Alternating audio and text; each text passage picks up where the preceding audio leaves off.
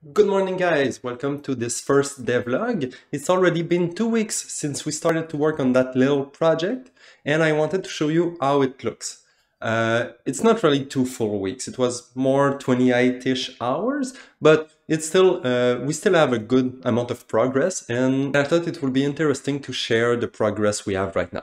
Before jumping into it, I just want to let everybody knows that I'm streaming the whole process, uh, pretty much the whole process actually, because I'm working a little bit here and there, like 15 minutes, 30 minutes here and there, but I'm streaming pretty much the whole process right here on this channel on YouTube. Uh, you can pass by whenever you want. Uh, I know I'm streaming like at random hours right now, but, but if you see that I'm streaming and you want to pass by, just chatting a little bit, if you have comments, question or anything, just pass by. It will be pretty appreciated. Anyway, let's get this started.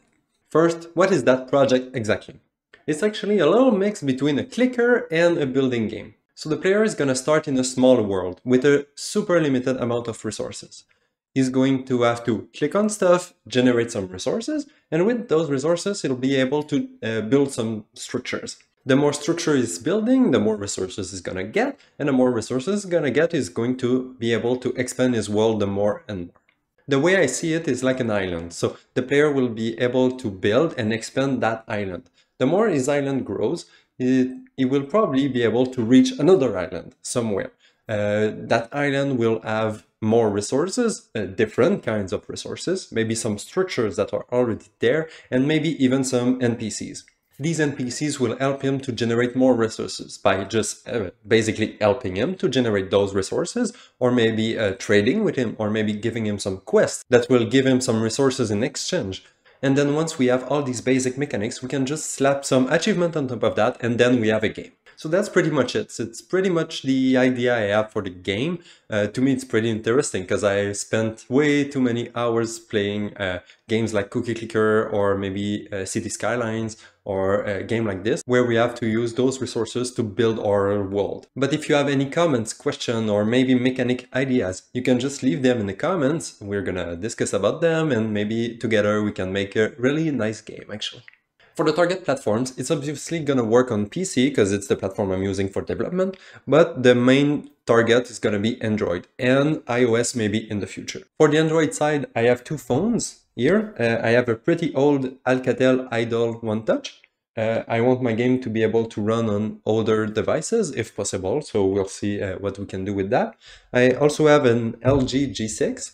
Uh, this is my current phone, but it's gonna be replaced soon, so I'm gonna buy a new phone, and I'm probably also gonna buy a tablet uh, if everything goes well. So uh, we're gonna have like multiple devices to play with them. And for the iOS side, if we get there sometime in the future, I have an iPad here, and I also have an iPhone 6 and an iPhone 12 somewhere in the house. I don't know where they are right now, but uh, I have some devices that we can play with. Okay, now let's get to the interesting part. So these two first weeks were more about the project creation and the whole setup, uh, and then creating the basic mechanics of the game. So the first step was to create the repo. Uh, so I have it here right here. Uh, I just have a couple little comments right now, but it's getting there. It's slowly getting there. And then we created the Unreal project, and then we had to make sure that it worked for Android. So uh, to make sure that it worked for Android, we just followed the Unreal documentation. So here I have the page Android Quick Start, uh, which tells you how to set up the device and then set up the project settings for them to work uh, to be able to package uh, for Android. So uh, you can just follow these little steps and it will the package should work. But, but, but, but, but, there's also another page that you have to do. It's the setting up the SDK. So it's pretty straightforward. You just have to download Android Studio and then it should work. But if you're doing it, just make sure to download Android Studio 3.5.3 as the other version won't work. And then after we were done following all these steps, we were able to have an empty app on the device, which is a small start, but it's a start. Now that we have the whole initial setup done, we can simply go in Unreal and have some fun. So this is it. This is the project. It's so nice. If I press play, it's a little bit better. There's some assets here and there, but it's still not too much of a big game. It's pretty basic for now. In these two weeks, we had the time to code three main elements of the game, which are uh, the inputs in the first place, so the inputs. If I move on Windows with WASD, I can move the camera around.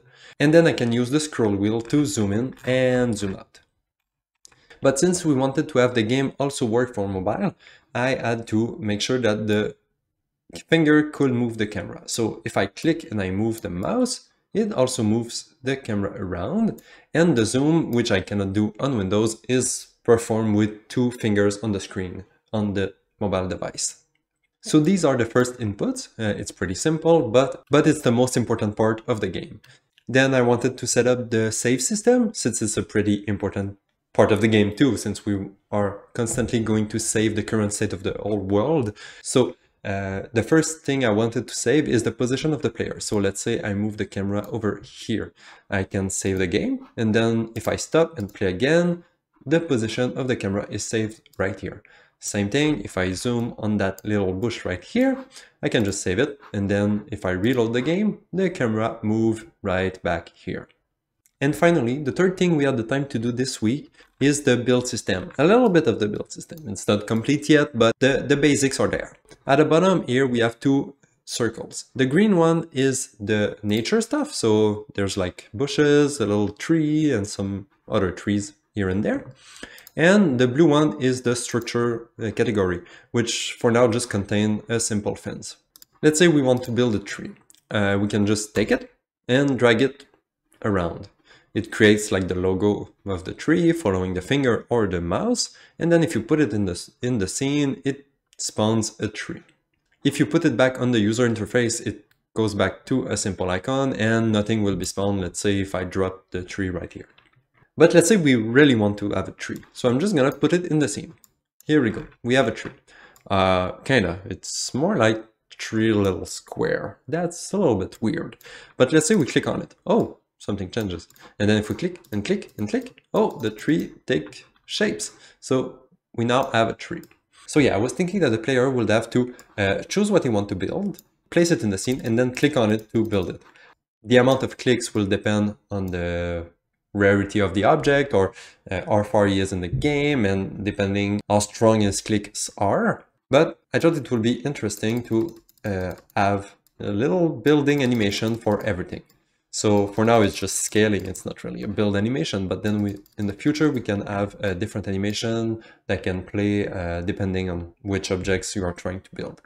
Another thing is that you may have noticed is that if I take, let's say, a bush and I try to place it right over the other bush, you can see that the bounding box is turning red. If I drop it here, it doesn't work. You have to put it somewhere that is uh, buildable, like it's available. So if I'm on top of the other trees, it doesn't work. If I am on top of the fence, it won't work either. So I can just put it right where there's some empty space. Everything is on a grid, so it's easy to align everything, even the small objects with the big ones, because the trees are big.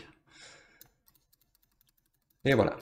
The last thing I coded is the fence. So the fence is a little bit special. So if you place a fence in the scene. You can see that you just have like one little square, which is weird. If you build it, it just gives you a pike.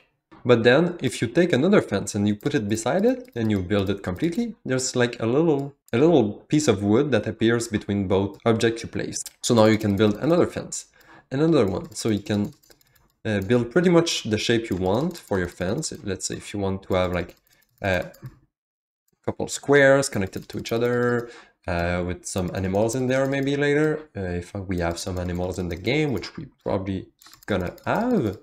So yeah, so you can just like build some little spaces for all your animals and other stuff. So that's pretty much what we can build for now. It's pretty simple. And the nice thing about this is that you can just save your game and then if you stop and play again, all your objects are back.